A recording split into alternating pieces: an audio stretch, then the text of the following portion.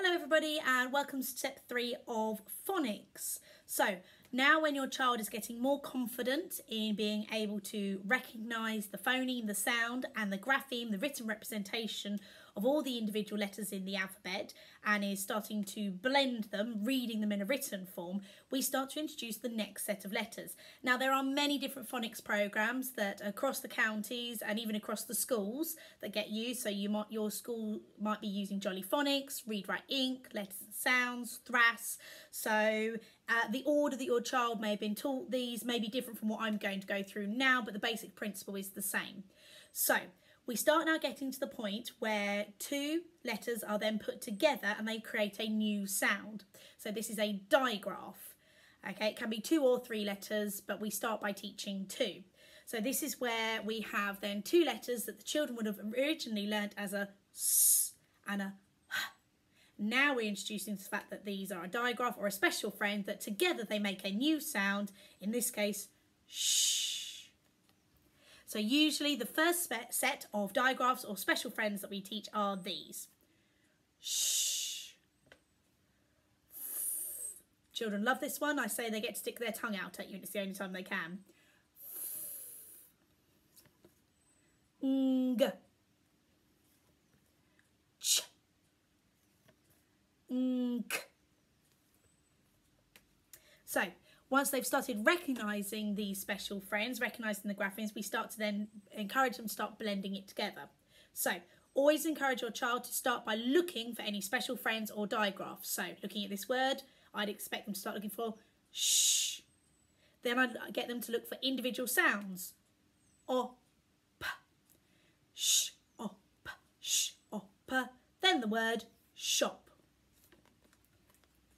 Looking for special friends two in this case. Then individual sounds. I, nk. Then the word. I, nk. Think. They continue then learning new special friends or new digraphs. I'm going to go through these now. A. E. I O. Oo uh oi. Ow.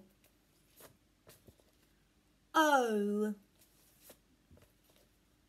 Uh ah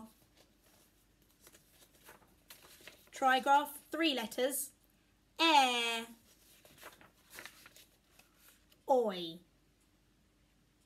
We encourage them to keep practicing these over and over again until they become fluent. As they're working through these, we then introduce them into blending them into words. So for example, just a few examples.